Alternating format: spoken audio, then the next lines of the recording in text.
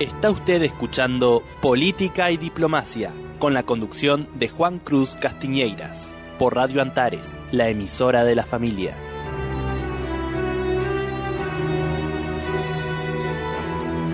Continuamos con el programa, tenemos en comunicación telefónica un destacado congresista del Perú, del Partido Prista Peruano, me estoy refiriendo al doctor Mauricio Mulder Bedoya.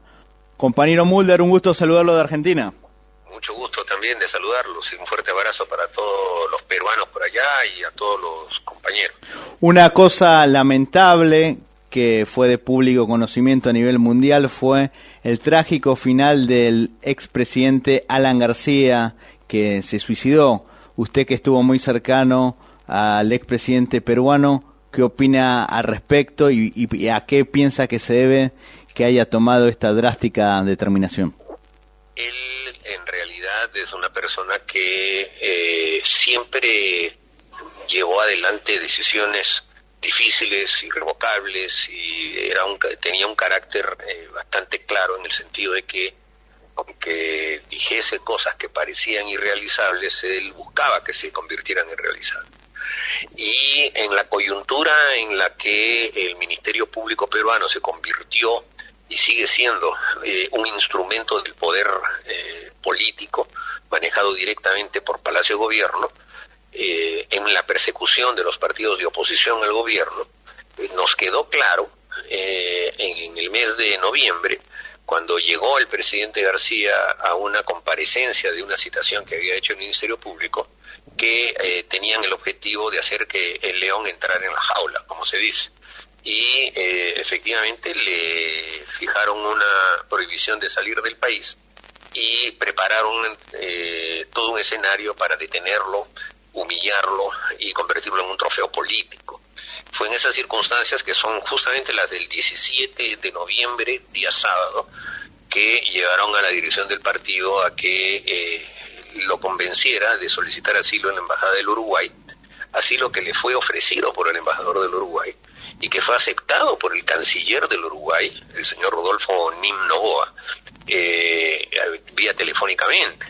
Después, eh, desafortunadamente, el presidente uruguayo se, se, como se dice en buen peruano, se chupó, le dio miedo la campaña que sectores vinculados a Vargas Llosa y algunos conocidos antiapristas eh, desplegaron. Y en ese momento, en ese momento hicimos una evaluación política y la negativa del gobierno del Uruguay, eh, había ya tomado una decisión en el sentido de que lo había hecho en términos genéricos, ¿no? que no iba a permitir que se humillara a la y se le humillara a él deteniéndolo. ¿Pero usted se imaginó un final así?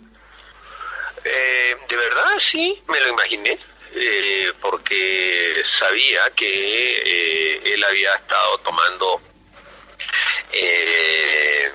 decisiones eh, de esa índole, eh, o, por lo menos reflexionándolas, eh, comentándolas. obviamente nosotros decíamos, no, pero esa cosa no hay que hablarla, no hay que conversarla. O sea, ¿usted lo, notó deprimido al, al expresidente García? No, no, deprimido no, al contrario, entusiasmado entusiasmado, o sea, eh, convencido.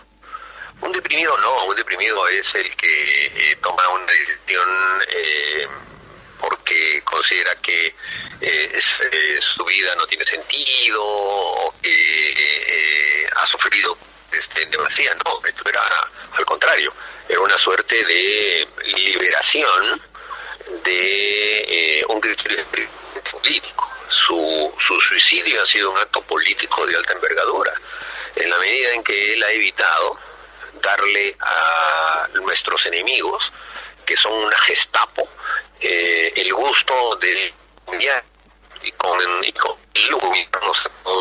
prisas. Y, es como él manifestó en la carta que a los enemigos le deja su cadáver. Esa fue la víspera en la embajada, en la embajada, a de las cosas que en este momento. y que eh, justamente señalan en esa eh, eh, no iba a permitir ese tipo de migraciones y que les entregaba pues a, super a, tus, a sus adversarios igual les ha dolido mucho. Ahora, ¿cómo queda la conducción del partido aprista peruano con, con este deceso de, de su máximo líder? En primer lugar, estamos soportando la, la ofensiva contra el partido.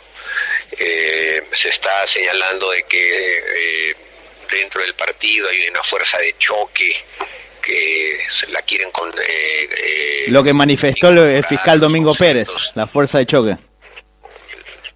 Sí pero lo manifiesta sobre la base de chismes y rumores y no sobre la base de ningún conocimiento de nada o sea es un repetidor de chismes nada más. Eh, no hay ni tal fuerza de choque. Pero a ellos no les interesa, ellos simplemente buscarán y dirán, fulanos o tan menganos son integrantes de una fuerza de choque, son una organización criminal y los van a meter presos, sin que hayan cometido ni siquiera una falta de tránsito. No necesitan probarlo, porque lo único que les, interesa es decir, ellos son y hacen la imputación. Así actúan, es la Gestapo nazi instalada en el Ministerio Público peruano y eh, estamos bajo esa bajo esa amenaza tenemos dos procesos más de organización criminal y un tercer y un cuarto proceso que es el proceso que deriva de la manifestación del señor Barata de haber entregado 200 mil dólares a eh, Luis Castro en el año 2006 como aporte de campaña. Es decir, estamos enfrentando cuatro procesos de, eh, de llamada organización criminal o de criminalidad organizada y lo mismo que le está sucediendo al Partido Nacionalista, el objetivo es disolver el APRA, como van a querer disolver el Partido Nacionalista y como van a querer disolver a todos los partidos que ellos quieran. Eh, como le, los, le sucede al Fujimorismo también, con el encarcelamiento de la lideresa Keiko y con el tema de que le sacaron el indulto al presidente Fujimori. Bueno, y además eh, contra eh, los partidos que tuvieron que ver con el tema del Lavallato. Entonces, hay un proceso eh, destinado a arrinconar a los partidos políticos que le son molestos al gobierno.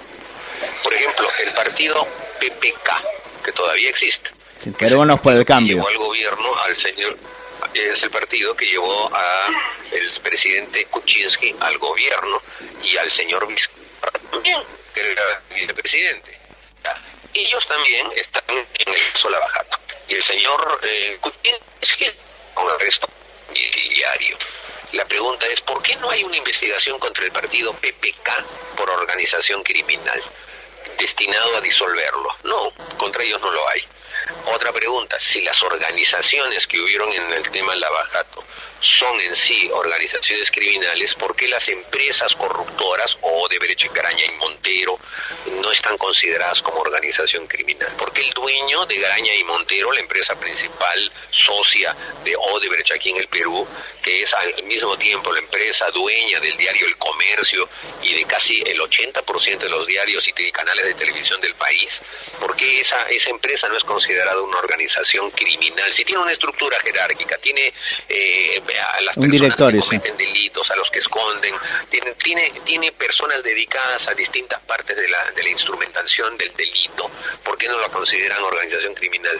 Solamente a los partidos políticos están atacando. Entonces, todo eso demuestra de que estamos en un proceso antidemocrático, de avance dictatorial, de copamiento de los poderes eh, eh, autónomos como el del Congreso o como el Poder Judicial o el Ministerio Público, el presidente de la República, el señor Vizcarra, fue a la transmisión de mando el primero de enero en Brasil y cuando se enteró que el señor fiscal de la nación había sacado a un fiscal, el señor Pérez, que además había sido fiscal en, la ciudad de Moquegua, cuando el señor eh, Vizcarra era presidente regional, es decir, que era su pata, su yunta, su amigo, como se diga, eh, eh, regresó, le dejó la mano tendida al señor Bolsonaro y presionó hasta que el señor Chavarri fue destituido. Entonces, el Poder Judicial, el Ministerio Público, el Congreso mismo, todos los poderes están supeditados al señor Vizcarra.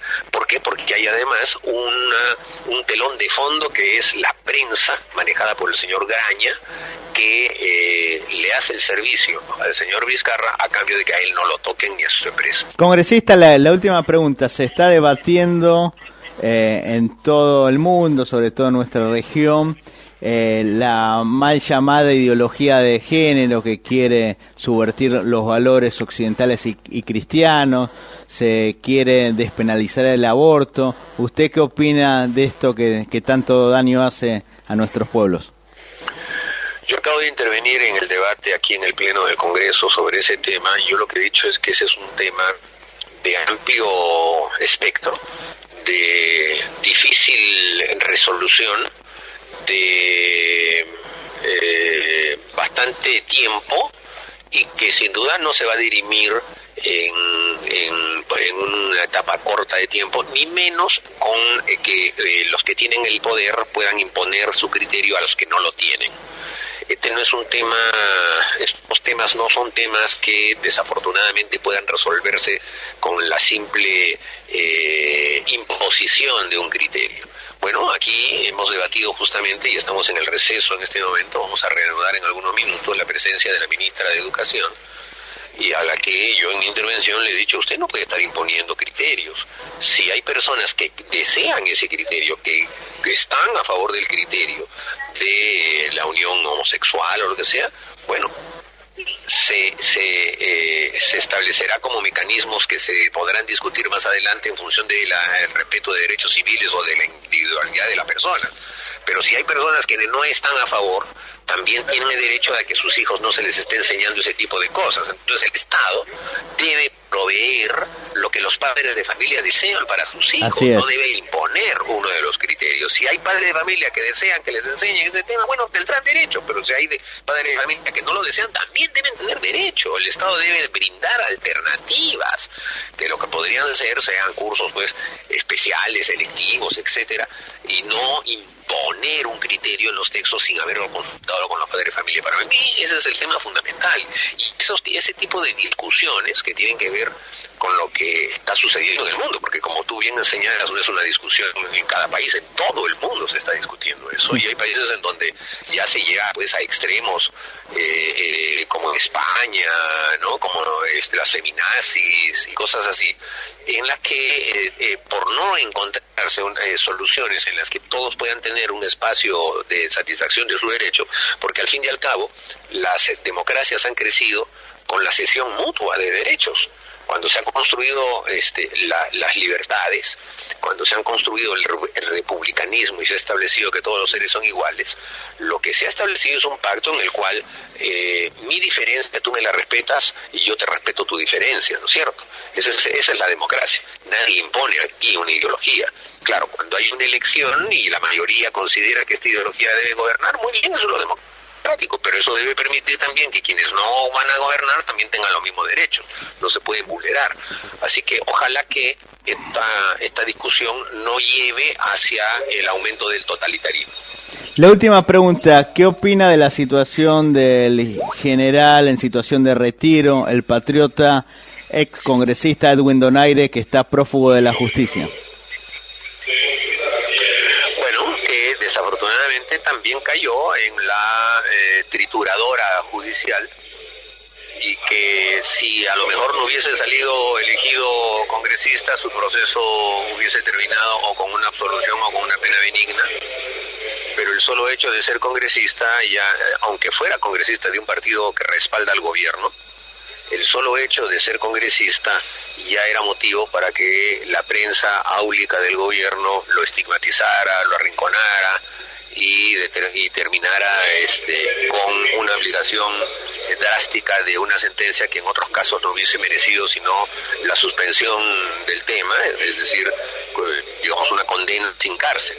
Pero le ponen una cárcel efectiva porque eh, eh, el deporte de la prensa peruana, que es una prensa amarillista, que es una prensa en quiebra, es una prensa que no vende, pero que eh, se cuelga en los kioscos de la ciudad de Lima y la gente simplemente los ve pasar y gratis lee los titulares. Entonces, solo se venden portadas que llevan consignas y todas dicen lo mismo todos los días. Y entonces, eh, como, como vender escándalos del Congreso es lo único que les permite generar un mínimo de recursos para no quebrar de fondo, eh, tratan de hacer de cada parlamentario una víctima. y bueno, le tocó desafortunadamente esa situación y eh, bueno, esperemos que en algún momento este tema pueda entrar por una etapa de solución. Muchísimas gracias, congresista. Viva el Perú. Igualmente, muchas gracias. Hasta luego.